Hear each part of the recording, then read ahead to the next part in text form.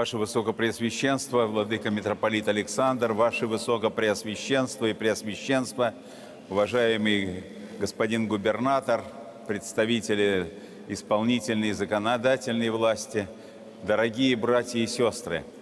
Я, конечно, с особым чувством сегодня вступил под своды этого храма – 3 октября церковь молитвенно празднует память преподобного и благоверного князя Олега Брянского. 20 октября 2019 года, в неделю 18 по Пятидесятнице, святейший патриарх Кирилл совершил чин великого освящения Успенского собора Свенского монастыря Брянской митрополии и божественную литургию в новоосвященном храме. Владыка сказал о том, что здесь произошло в 2011 году – когда только возникала мысль построить этот величественный собор, и когда был сделан первый шаг на этом пути, который привел нас к сегодняшнему дню. Мое первое слово – это слово благодарности. Благодарности всем тем, кто посвятил этому великому историческому для Брянска делу частицу своего времени – часть своей души, часть своих средств, внимание и заботу свою. Храмы строятся не на год и не на два, а на столетия. А много храмов сохранилось, возраст которых больше и тысячи лет, если говорить вообще о православном мире. Наша страна, конечно, не сохранила всех исторических святынь, потому что слишком часто она подвергалась нашествию на племенников.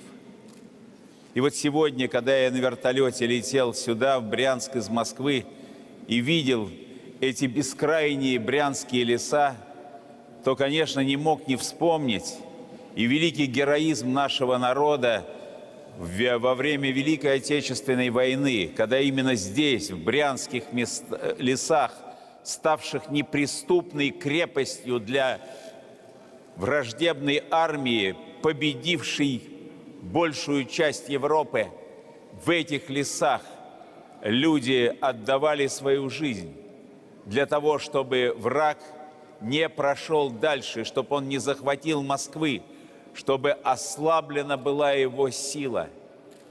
И ведь многое, что произошло на Брянской земле, и в первую очередь это героическая партизанская война, она внесла свой огромный вклад в победу нашего народа.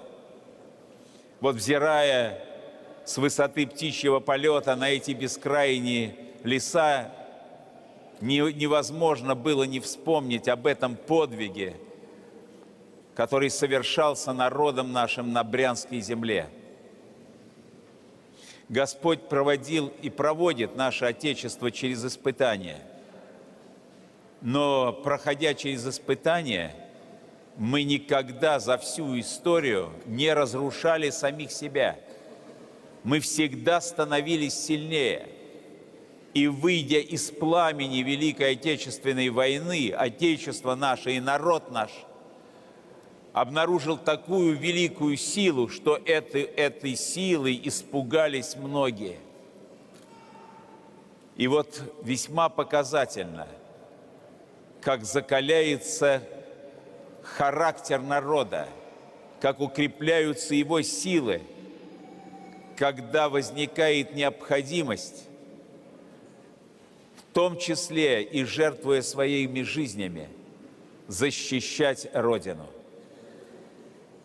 В основе вот всех этих поступков лежит героизм. Вообще-то необъяснимое с материалистической точки зрения явление. Вот если и есть какие-то неверующие люди, которые признают само явление героизма, то им нужно очень сильно задуматься, что такое герой и что такое героизм как человек отдает самого себя, отдает свою жизнь, иногда жизнь своих самых родных и близких во имя идеи Во времена Великой Отечественной войны это была всеохватывающая народ наша идея спасения страны, защита Отечества. Ведь сама идея – это что-то, что в мыслях. Идею нельзя ни пощупать, ни потрогать, ни оценить материальными способами. Это то, что принадлежит нашему духу.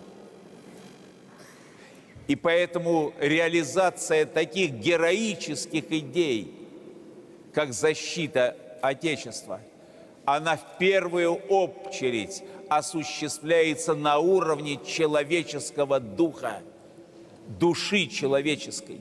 Чем сильнее дух, тем сильнее потенциал человека. Чем сильнее дух народа, тем сильнее его потенциал.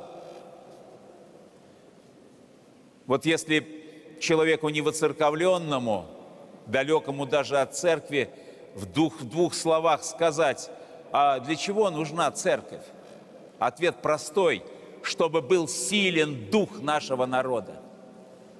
И церковь укрепляет этот дух не только своей проповедью, не только воспитанием детей, она этот дух укрепляет силой божественного духа, божественной благодати. Потому что, еще раз скажу, духовное начало, живущее в человеке, не может укрепляться материальными факторами, но только факторами духовными. И церковь, как служительница духа, как воспитательница духа народа, есть та институция божественная и человеческая, которая призвана возвышать человеческую личность до самых, что ни на есть, заоблачных высот, превращая человека простого в настоящего героя, героя духа. Для того, чтобы церковь могла действительно эффективно служить этой возвышенной цели, в первую очередь сильными духа должны быть ее служители – и поэтому у меня особое сегодня обращение к нашим пастырям. Жизнь становится спокойнее, если сравнивать со временами атеистических гонений, более комфортными становятся условия жизни. И вот это внутреннее расслабление, оно может незаметно подкрасться к сознанию, к душе и пленить в том числе и служителя церкви. Ну а что нужно? Храм стоит, люди приходят, богослужение совершается. Но если мыслить в таких категориях, то очень может скоро оказаться, что сила Духа вышла из такого служителя церкви. А каков результат? А результат таков, что народ немедленно это почувствует. Сколько раз спрашивая у того или иного мирянина, а почему вы стремитесь на исповедь вот к этому священнику, а, а не другому? Вот чаще всего я слышал такой ответ. Это духовный батюшка. Это вот народ так своим чутьем опознает силу духа священнослужителя. И поэтому, конечно, первая задача, которая стоит перед священнослужителями, это работа над самими собой, постоянная работа, направленная на то, чтобы дух становился сильнее, чтобы этот дух оплодотворял пасторскую деятельность, проповедь, общение с людьми. Но это, эти слова можно обратить каждому из нас – мои дорогие братья и сестры. Если мы духом пламенеем, то мы Богу приближаемся. Мы начинаем общаться с небом на том языке, который небо принимает. Потому что простой человеческий язык, не подкрепленный внутренним подвигом и силой духа, это тот язык, который небо не слышит. И если мы хотим, чтобы молитва наша достигала Бога, если мы хотим, чтобы мы были услышаны, мы должны возгревать свой дух, в первую очередь укрепляя свою веру и свою способность совершать добрые дела. Потому что вера, поспешествуемая делами, это и есть показатель силы человеческого духа.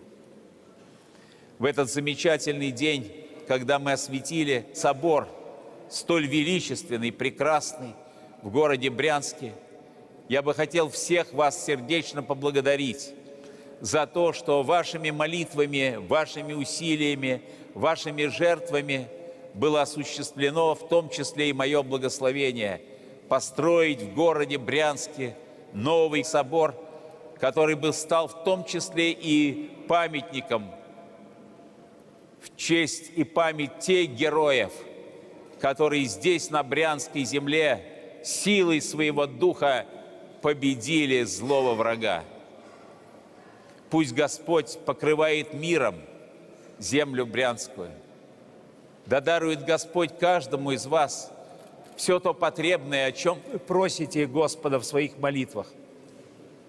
Мое особое слово к детям, к молодежи, к родителям, к мамам и папам, бабушкам и дедушкам. Заботьтесь об укреплении духа, а значит веры в сердцах ваших детей и внуков. Не отдавайте их на растерзание злому хищнику, дьяволу, который истребляет самое главное. Он выклевывает из сердца человека веру. Он разрушает человеческую душу.